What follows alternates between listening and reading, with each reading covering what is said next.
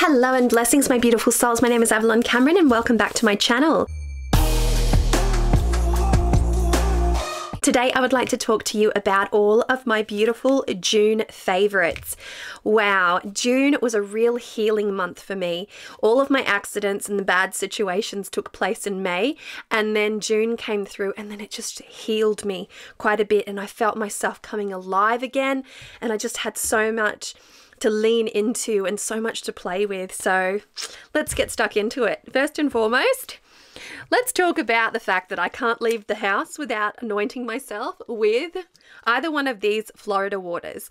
I'm typically gravitating towards this one here because it just has such a really beautiful fragrance. This one here is a little bit more, you know, traditional, more, more widely available. This one here was made by Earthly Alchemy and it smells heavenly. If you don't know what Florida water is used for, it's a blessing, protection, cleansing. It's the great all rounder kind of thing when it comes to floral waters or magical waters, and it is something that I have been using as I get ready to drive long distances, i.e., into the city, every time I leave the house. All right, so from waters to oils, let's just have a look at this one here. We have High John the Conqueror, and also we have vervain or verbena. We also have this good luck oil and we also have this crown of success oil and we have this beautiful Venus oil. So these have been my absolute favorites to work with in the month of June. The Venus oil here, which is a beautiful flowery oil, was created by Earthly Alchemy. It is a Venetian ritual oil, perfect for those of you who are a Taurus or who are a you know, Libra and who have the planet Venus in a really prominent place in their natal chart, or who want to connect with the goddess Aphrodite, Venus, etc. So that's a really great honoring and ritual oil for yourself or for honoring the goddess. Then we have a crown of success, which I feel I needed. I just needed a little bit more success in the month of June because I had such bad luck. I wanted to go, you know, with the idea of success just to get me out of my slump. Now, this wasn't kind of geared, this wasn't the success that is geared in any direction. It wasn't business success. It was just like life success. Just let me succeed a little bit in life. So this one here is created by Juniper Moon's Apothecary. As you can see, the label is coming off and I use this so much. I use it a lot. I don't know how I'm going to go when that label falls off. Then I have a good luck oil here and another success oil. And this one here, I'm running low on it, but this one here was created by Jessica from the House of Hoodoo in New Orleans. I want more. I just want so much more of her oils, her products, her candles. It's so hard for me to get them here. This one here came to me because a friend of mine was good enough to visit all those years ago, you know, before the borders were all closed and all this mayhem took place, and brought me back some of this beautiful stuff. So, this, this, this, okay, this. I need more of it. So, gods, guides, guardians, bring me more of these. That's what I need. And then the, both of these ones here were created by Juniper Moon's Apothecary. As you can see, this is a smaller Juniper Moon one. This is a practitioner-sized Juniper Moon. So if you are a practitioner and you use a lot of oils like I do, then you may want to invest in a practitioner based oils. But look at how delicious, delectable, yummy these oils are. Oh my gosh. So, so, so good. So good. So good. So good. High John. It's really good to use in a magical oil like this. You can use pieces rather than the whole root because the whole root is hard to come by and it's also being depleted. Leaven of vervain. Very protective, very uplifting. Um, there's a lot of uses for vervain and sometimes they can be a bit of a paradox or a little bit of a oxymoron when you read the, you know, the magical properties. But you know what? I've just been leaving the house under the protection of a bit of vervain. And if you're into the Vampire Diaries, then no vampires for me. That's basically it. Okay, so let's talk a little bit about books now, some of my favorite books of the month of June. So, first and foremost, one to two notable faves. Um, this was in the fiction category. I read The Invisible Life of Addie LaRue. Mwah, Chef's Kiss Good, impeccable, loved it. Really fantastic fa story, um, sort of deal with the devil type of story. A woman that just doesn't want to conform to the pressures of her society and her position as a woman woman in her life, and then she makes this bargain, and there's pagan gods, and there's a little witchy, there's a little, you know, deity involved in it, and next minute, um, she's invisible. People cannot remember her. She wanders into a place, and she could walk out, and as soon as they her, their eyes leave her, they forget her, and then she could walk in, and that, uh, there begins the introduction all over again. It's really crazy. The story was absolutely fantastic. The romance between Addie and Henry, and oh my gosh, so so good. And then moving on to a book that really stole my heart. Uh, this one's more literary fiction. Addie LaRue is actually adult fantasy. Well, it's in the sections of adult fantasy, but it could teeter into young adult as well. I found it very, very um, sensitive. There was some really sensitive topics and oh, like tugs at the heartstrings. Whereas this next one, which is Once Future Witches. Once Future Witches, absolutely incredible. Salem based, Three Sisters, New Salem, uh, bringing back the the ways of Avalon, the priestesses of Avalon. It was incredible. It was during the um, the women's um, suffragist movement, and I don't know why that didn't roll off my tongue properly, but it was a fantastic story of magic, simple magic. Um, and these stories, like this magic, was anchored into old nursery rhymes. And as, as fantastical or as ridiculous as that may sound, the nursery rhymes were used as spells and it just worked. I listened to both of those books on Audible or audiobook and mwah, so, so good. So, so, so, so good. Now, moving on to some more esoteric material, we are at this very present moment in time studying the Around the Tarot in 78 Days, which is a tarot book that I highly recommend for anyone who wants to learn a bit more about tarot or who wants to kick off their tarot journey. This is a really great resource. Um, this one here is by Marcus Katz and Tali Goodwin. I have read this book before. I have it on Kindle, but I recently got it in hard copy so that I could study it for Patreon. So, my Patreon community, the Card Slinger Tarot community on Patreon, we're studying this book together. I've started to tab it up. Absolutely fantastic. Really, really great resource for anyone working at, you know, developing better skills with the tarot cards. And I've got to say, worth every penny worth every penny. An absolute favorite and one that i would recommend for beginners and have recommended for beginners for years and years and years now. Then i've been getting very very into lenormand. Now when this book first came out i got it on kindle so i've had it for a very long time.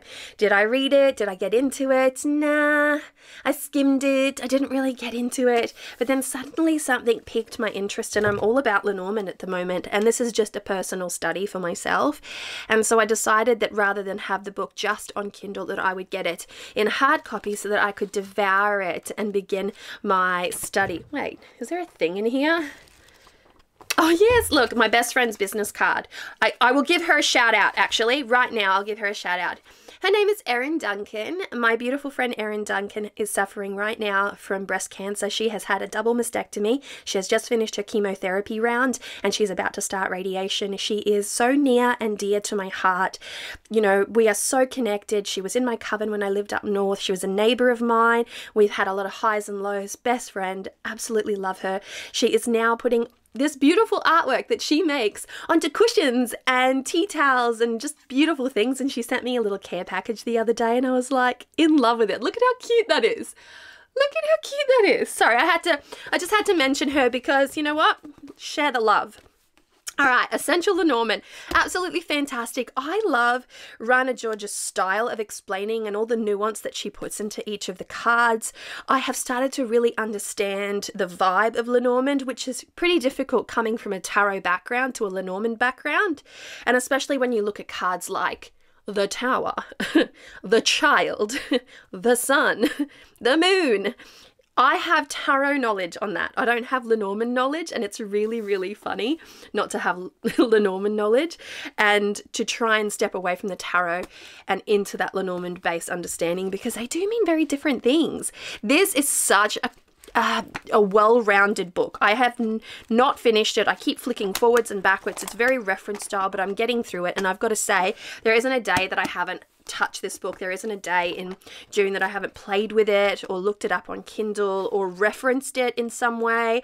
And I am doing a bit of a deep dive into it, so I'll be playing around with this book for a couple of months to come. I really want to absorb it all and then move on to another book that I have my eye on that I also have on Kindle, um, also about Lenormand. So This is such a great book, and I really love the personality and the personal information that Rana George was able to add to this beautiful book. Loved it, loved it, loved it. Incredible, amazing. Highly recommended if you are wanting to learn Lenormand. My last book that I wanted to share here with you is the one that we have been studying for my Black Owl book. This is the only astrology book you will ever need by Joanna Martine Woolfolk. This book has been around since the 80s, and this book is incredible. I felt like I knew nothing of astrology apart from, you know, just the you know, the, just the the simplest astrology, if you know what I mean. And this book took me from beginner to somewhat of an early intermediate. It is fantastic. The book is laid out in such a common sense, easy to follow manner. It has a bit of a workbook style to it and it introduces little bits at a time. So you move through and increase your understanding of each of the card. Oh, mm, I was going to say cards. I'm in tarot mode, sorry. Each of the signs.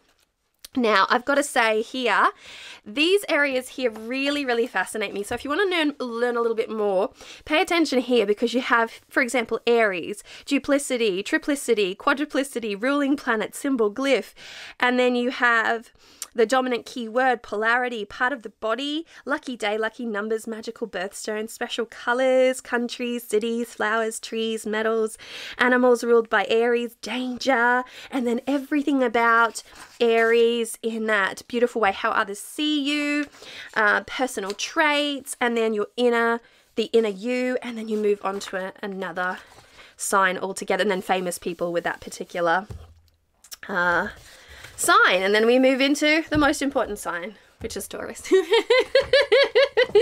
just kidding, they're all important. But this was such a great book for someone who really just wanted to build up a bit more working knowledge of astrology. And I've got to say, oh, it's worth every penny. I can honestly say, because we studied this formally in book club, I can say that people were walking away going, I get it now. Like aha moments, I get it. Now it is an old-fashioned book in in so many ways, and there are so many other new and exciting tarot no again, there I go. Um, astrology books out there, not tarot, but astrology books. But I've got to say, this one here came highly recommended. I've spoken to a few of my astrologer friends, and they've said they started, this was one of their first, you know, starting off points. And even though there are other books and they're equally as good and amazing, this one here has a bit of a pride of place amongst, you know, collections because of you know how good it was. So I'm impressed with it. I loved it. I'll give it five stars. 100%. I loved it. I absolutely loved it. All right, let's do decks. You, of course, know what this is. This is the Mary-El Tarot, but this is the second edition of the Mary-El. I have two copies of the first edition, but I didn't have the second edition, and I'll show you why I wanted the second edition. First of all, bam, dazzle, razzle, dazzle, bam, bam. It's that's not why I wanted it. Um, but it is edged in this beautiful silver. The cards are smaller. So the original Mary-El or the original mass-produced Mary-El is quite big. And then look, borderless. It is borderless.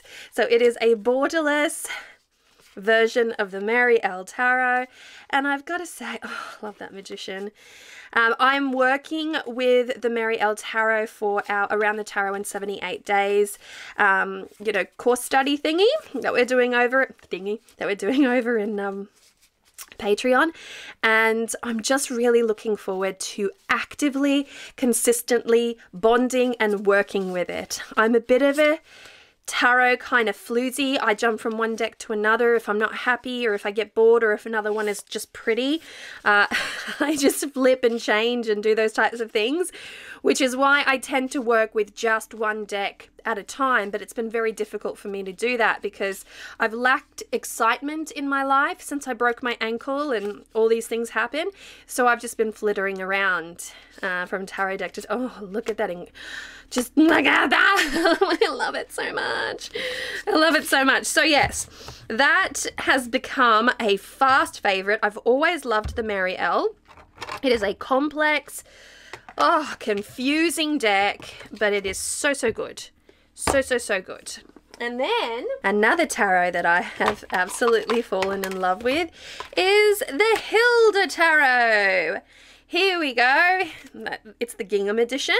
So this is the Hilda Tarot. If you don't know who Hilda is, she is a plus size pinup uh, model of yesteryear, and this is such a quirky, fun, innovative, unique, just a just a really feel good deck, and it is entirely based on Hilda. You're not going to find any anything else other than Hilda and Hilda's antics. So solely focused on Hilda.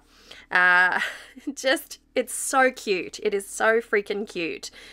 And I've got to say, you know, I've just so cute.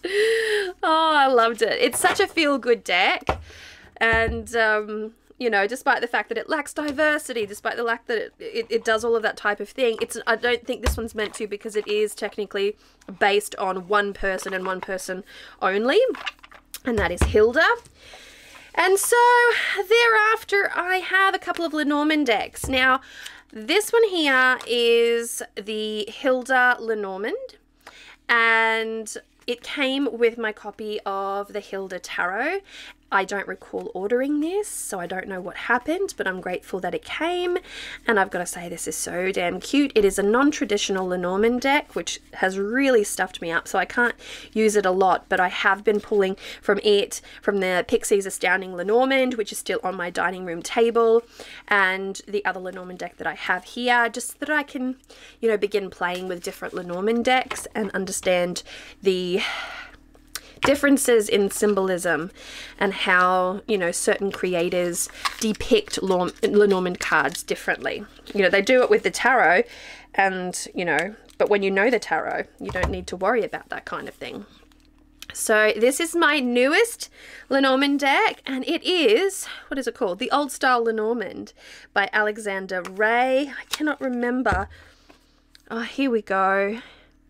Hilda created by Duane Bryers, deck created by, I can't even begin to read that, it's too far away. So I saw that one, the Hilda, on Instagram and I just simply had to have it and I ordered it direct from the artist. It was like PayPal invoice sort of situation. Uh, this is the backing of the old style.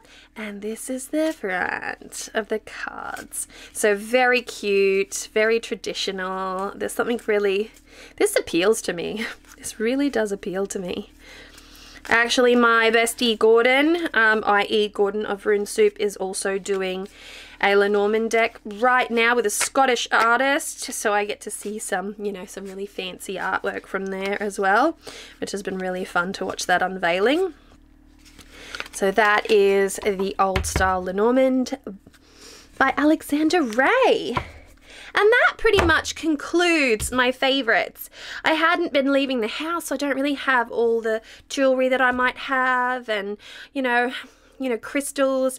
I just haven't really been working that much with crystals. Having said that, though, having said that, my son has been absolutely loving that, um, you know, that Sputnik, that Aragonite uh, Sputnik and he's been bringing in his crystals and so I have been playing with crystals I just haven't been my own crystals if that makes sense.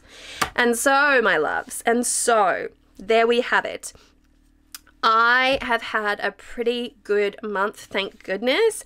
And I've been keeping to myself and doing a lot more creative art and playing around in my journal. And I'm doing an art, a watercolor art class at the ends of my day. So in the evenings, I wind down with a little audiobook and a little um, watercolor art in many of my journals. I've really been focused on my Hobonichi and making sure to task manage and task plan so that I don't get overwhelmed now that I'm getting back into work and there's so so much for me to catch up on. So I'm trying to be really fair with myself and not like implode. So there we have it, my beautiful souls. And I just wanted to give a little honorable mention to the fact that I have created a GoFundMe campaign for my beautiful friend Allorah Rain, who is struggling at this very moment with a very serious succession of health uh, illnesses. I was going to say incidents. I couldn't find the word. Um, she's struggling quite a bit, and we're raising money for her so to help her and her family get over this very difficult time they are going through right now. Thank you to everyone who has donated so far. We are up to 2,400 Australian dollars, and we aim to get to 6,000 Australian dollars so that her hubby can take some extra time off work and not worry about having to lose that that money and not being able to pay the bills. You know what I mean? So, thank you, thank you, thank you for those who have supported. And I'll leave the link to that GoFundMe in the description box of this video. If you are able to donate, even in a, a small measure, that would be absolutely appreciated. I can't tell you the difference that it makes. And I'm really so beautifully overwhelmed and so impressed with those who have reached out with kind words and, you know, all of that beautiful energy being thrown in her direction. It just, it warms my heart. It really does because she is struggling. She's having a very hard time. And so this is when, you know, we need the support the most. So be sure to give her your love and some kind messages and all that type of beautiful fun stuff. Don't overwhelm her at the moment because, you know, her medication is making it very hard for her to read, so she, her eyes are a little foggy. But she's there and she's still doing her things, and um, she's very grateful. So I was talking to her today about it. So it was very nice. All right, my beautiful souls. Well, thank you so much for checking out this oh, June this June favourites, gosh, it's just flying. This year's flying. Doesn't everyone say that? I feel like it's so cliche to say that, but genuinely flying. And soon it'll be Christmas, and soon it'll be New Year, and before long, we'll be here again going, oh my god. All right, my beautiful souls, I'll talk to you again soon. Look after yourselves and take care. Mwah! Bye!